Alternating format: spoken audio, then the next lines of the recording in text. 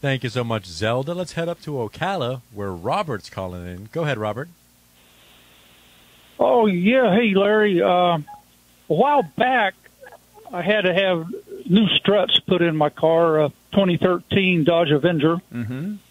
and they told me I needed camber bolts. And at the time, I'd never heard of such a thing, and wanted to do a little research, so I didn't have the camber bolts done at that time. But they so they did a they replaced struts, did a four wheel alignment. I think it was the front tires that was out by two degrees. And I did, I drove it that way for a while because I don't drive the car that much. But so I find, but I finally had the camber bolts done at a different shop. And when they sent it out to do the alignments, they only did a two wheel alignment. So I'm wondering if I should take it back in and get a four wheel alignment done. They only done a two wheel alignment. you can't you can't Yeah. you you can't do a two wheel alignment on a front wheel drive car. Uh, I mean, you I guess you Really? could, but you, you I don't know Well, they what call well they called it a uh, they called it a front front end front end alignment. I think is what they called it. Well, you you know, with today's alignment machines, Robert, you, you know, you have to have four heads on the vehicle. You you can't. How would you know what your caster is if you don't do a four wheel alignment? You, you I mean, there's there's no way of measuring anything if you don't do a four wheel alignment. I mean, Oh. we're talking Well, you about. know, uh, maybe I maybe I misunderstood the. No, uh, I'm going to tell you. I don't. I don't. I I don't. I don't. might have to. Yeah, I don't think. I don't think you misunderstood anything. I. I don't. I think you probably know more about the alignment on that vehicle than whoever did the alignment.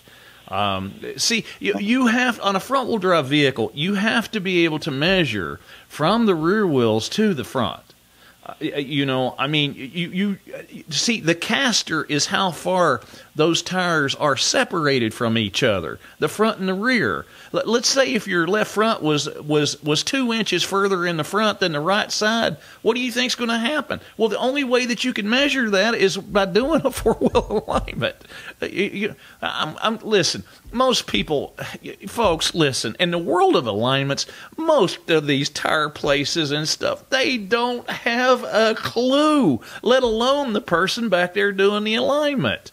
Uh, you know, it's just if it's anything other than a toe and go, they are lost. I mean, I'm just telling you, it. it you know, they probably seen the first set of camber eccentrics in their lifetime when you took it to them. I just, you know, for somebody to tell you that you had a frontal alignment done on a front wheel drive car, they they are they, they don't know what they're talking about. They don't have a clue. It they are clueless, or either they don't have equipment to do it with.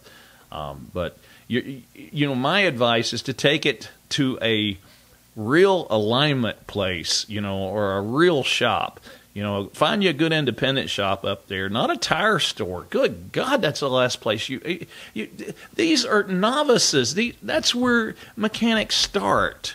You folks understand that? That's that's where they start doing lube services and tires and maybe hang some brakes and a shock, but and and, and then try to learn alignments. That usually that's not where you're going to find your your your guys that's been in this business for 25 plus years you know and I, and and and they're these tire places they're not cheap you know i mean they are they charge big money for you know um, lack of experience and, and and so you, need to find the places that you that's got the old dinosaurs in there working it knows alignments and stuff you know and that is a dying art as well because the new guys that are coming up to do alignments, they are not trained to do this. They don't have a clue.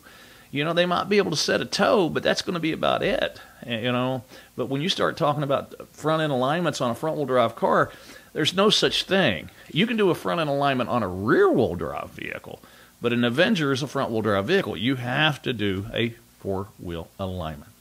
Robert, I hope you're educated, and if you got any more questions, email me, Larry at magicmechanic.com. Hi, folks, Larry Perry here.